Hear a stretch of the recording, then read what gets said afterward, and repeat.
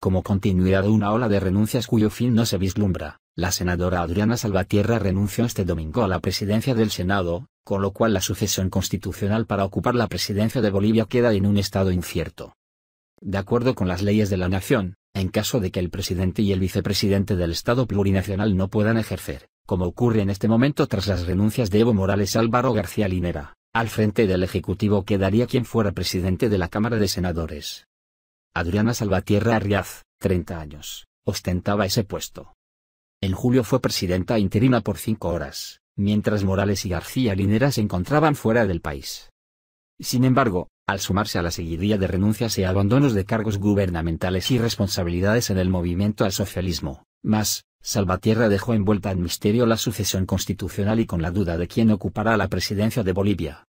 Según la Carta Magna Boliviana, en caso de que la o el presidente de la Cámara Alta renunciara al cargo de jefa de Estado, tendría que tomar el puesto el presidente de la Cámara de Diputados. En la mañana detentaba esa responsabilidad Víctor Borda, quien también renunció luego de que secuestraran a su hermano. En caso de que ninguna persona asuma la presidencia de Bolivia, la ley marca la convocatoria a elecciones en menos de 90 días. El diario boliviano El Deber aseguró en un reporte que será la Asamblea Legislativa Plurinacional, ALP, la que convoque a una sesión urgente en las próximas horas para garantizar la institucionalidad en el país. Salvatierra expresó en entrevista que los partidarios de más quieren que esta situación pare. Resguardando la seguridad de nuestros compañeros, así como Evo y Álvaro, presento mi renuncia al cargo de presidenta del Senado, explicó, para luego manifestar que en estos días se gestó un golpe de Estado y se quemó y violentó viviendas de los ministros y autoridades del MAS. La expresidenta del Senado dijo abogar por que se haya una salida pacífica para el país.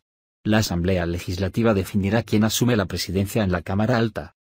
Hasta este domingo, Bolivia fue gobernada durante casi 14 años por Evo Morales, quien se disponía a iniciar un nuevo mandato tras la elección del 20 de octubre. Cuestionado por la Organización de Estados Americanos, OEA, dicho ejercicio electoral fue tildado por la oposición de fraudulento, lo que, unido a la ola de protestas e inestabilidad social y a las amenazas a su familia y las de sus partidarios, obligó a Morales a tomar la decisión de renunciar como presidente. presidente.